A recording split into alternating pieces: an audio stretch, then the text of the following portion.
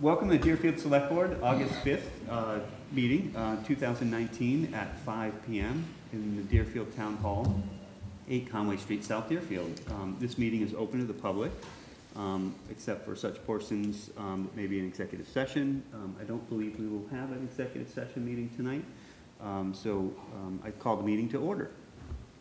And we only had really executive session on the agenda, but we were kind of uh, reconvening to discuss um, interviews that we had the other night, kind of the plan going forward. Um, It's, um, I'll just say it has been a short amount of time to actually get any um, further data, so I- I'm not ready yet to make a decision moving forward. So I, um, or at least, uh, uh, my part of the board is not ready to move forward. Um, So I think um, we had a couple of things you wanted to discuss on the agenda for some other items, um, or other things you wanted to bring up, but um, I plan to do um, a little more background research um, on both candidates, and we'll, um, we'll be back in touch. I I have a, kind of a bit of a plan moving forward to kind of get some clarity there. Um, And um, we'll have another meeting shortly, so.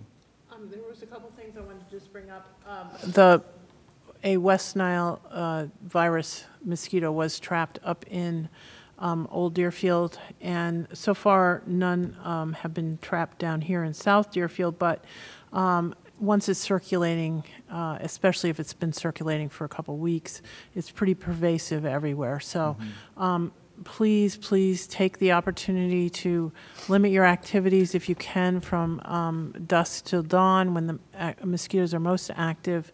Make sure you um, use a repellent. Your your screens are in good shape, and and really just basic stuff like you know long sleeves. Um, you know, go a long way to keep everyone safe.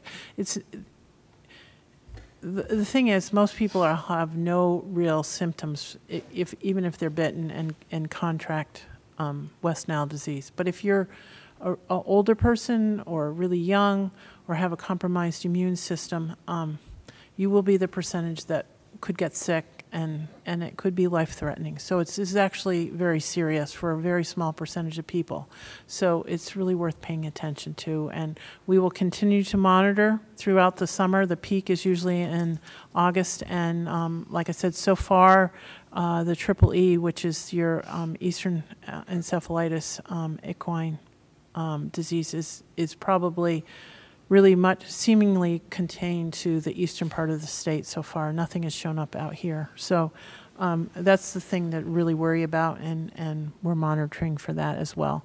There's about 51 um, species of mosquitoes in Massachusetts, and it's really three or four that we're concerned about, and that's what we trap and that's what we test.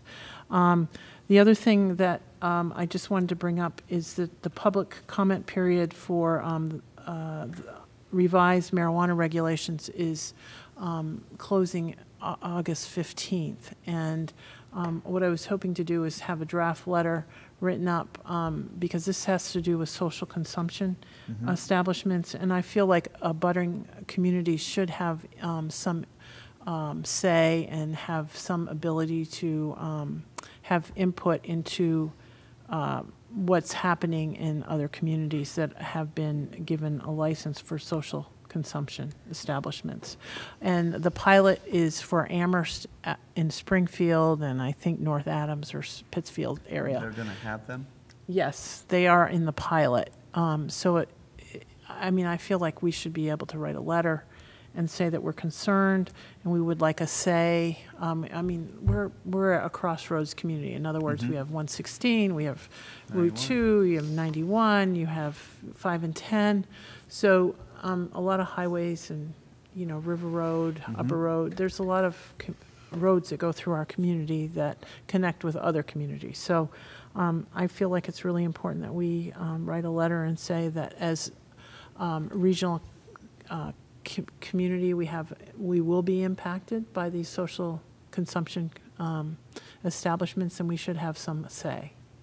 And- I think when we had um, approved our, you know, our marijuana stuff, we had decided that we were not going to zone for That's a- correct. for a social consumption at that But I, I time, f- right? um, but I feel like the, um, the state is I don't want to say reneging because it's, but they are changing their regulations and they're willing to do these pilots. And Mhm. that means pretty soon we might not have the choice to opt out of social consumption Right.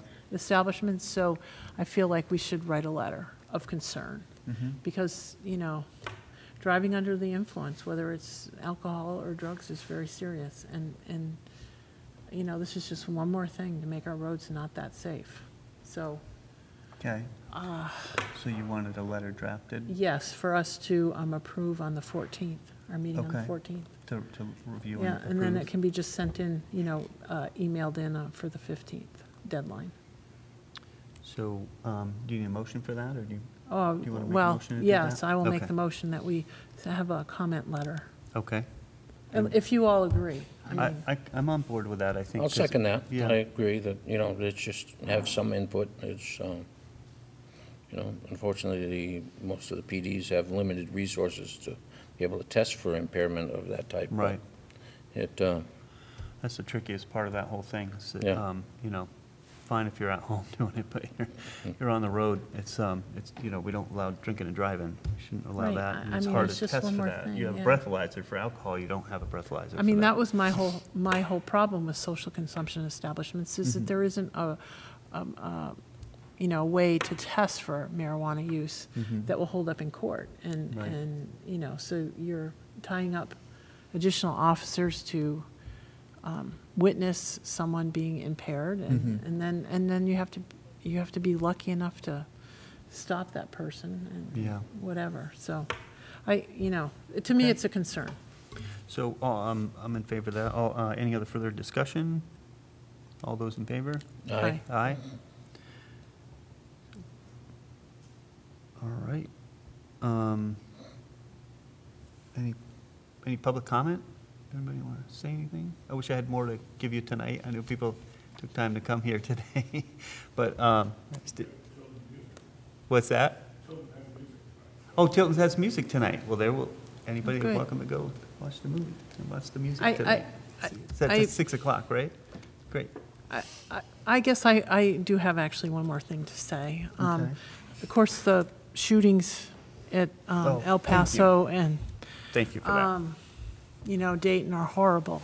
Um, You don't want to give a lot of oxygen to it. Mhm. And um, so I guess our support would be for, of the library, you know, buying more books so that people can discuss it at home and with their kids and, um, you know, maybe the DIG group at school is diversity and in their schools group that is a wonderful, um, you know, group that is addressing some of these concerns. And, um, I mean, I don't really know what to say, except that we feel really sad about it and Yeah, there was, um, there was some, somebody was, um, it, it- it has been ripping the nation apart. This, you know, you think you move along in social and, um, racial tensions are kind of quell a bit and then they, they rear their ugly head again. And it's just, um, it's a shame. And then to have so many people lose their lives because of the way the, um, it's awful.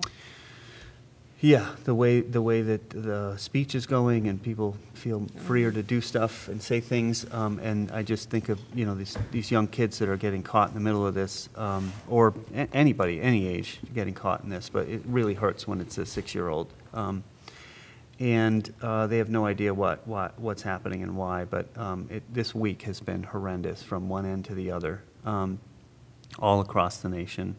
And there are people kind of stepping up to um, have dialogue. And Yeah. I know that the library, like you said, is doing that. They have books available for people and always can ask questions um, and learn from each other. And I think there's people gathering, I think, on the Common in, in a day or so, maybe in a week or so. um, Maybe August 12th, I think. And they're um, just kind of being open to ask questions and listen and talk and listen to each other. And you're right, that the um, Deerfield Inclusionary Group, DIG, um, has done a lot of things over at the elementary school over the years, the last couple of years. Yep. They've held uh, potlucks and movies um, on diversity and how to accept, you know, people um, of other persuasions, races, whatever. I think it, they're doing really great work, and they should be commended for that. And um, whatever we can do to support that, I'm I very agree. on board to help that, for sure. So thanks for reminding and mentioning something. Yeah. I And we are going to have a Board of Health meeting at some point and um, eliminate, uh, it will be in the newspaper. The Juul was $2,500 worth of Juuls were stolen from Cumberland Farms over the uh, weekend, I guess, and, you know. That's an e-cigarette. it's not jewelry. Yeah, Just so e-cigarette. everybody's aware. It's So jewels. Um, we are, we are going to um, have a Board of Health meeting to um, eliminate vaping products in our town. But we've sort of been on hold because we, you know, we're hoping to just um, eliminate them totally.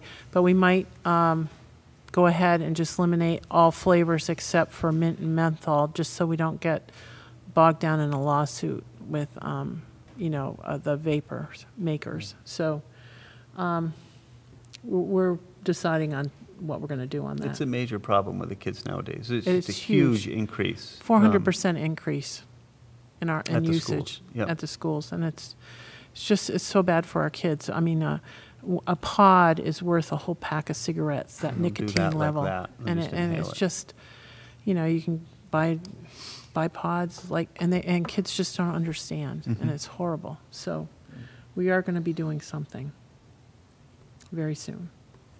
So, um, No, I don't have anything to add on that, it's just, you know, you know, one way to f- do it is tax it like you do cigarettes. mm, You know, that'll slow it down a little bit, it's not gonna solve the problem, mm. but at least they can use the revenue to, for education to combat some of these issues.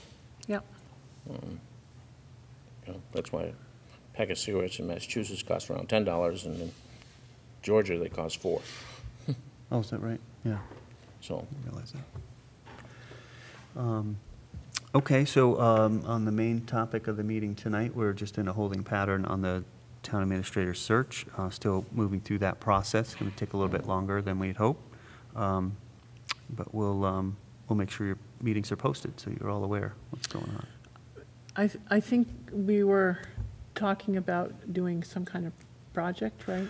I'm thinking about, yeah, I've been thinking about trying to um, get a little bit more data. So I think um, working on um, having candidates present a project to the town might help, help in the decision-making. So, um, but I'll make sure that's written out and everybody's aware of it and we get, get that on schedule.